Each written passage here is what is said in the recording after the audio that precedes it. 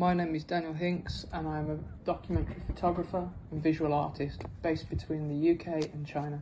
This year, I will be exhibiting my ongoing body of work, The Sunshiners Code Red in Green China, at the Copenhagen Photo Festival 2023.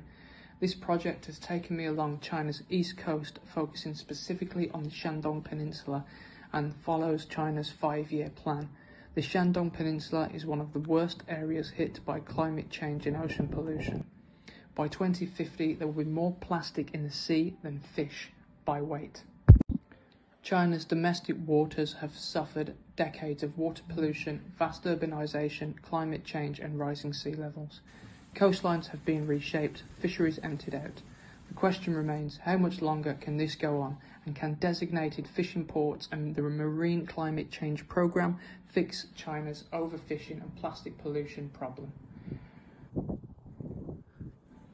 The ocean is not only a source of food and livelihood, but also an intrinsic part of their culture and heritage.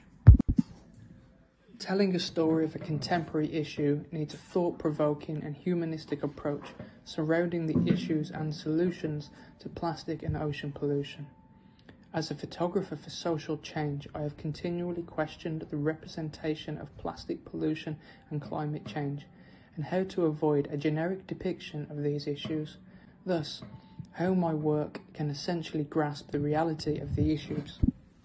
I use acetate sheets and seawater deteriorated negatives and adding external pollutants that are geographically linked to the people and the places that I photograph, taking us back and forth between the reality of the present and the deterioration that is yet to come if we do not adapt and change our ways.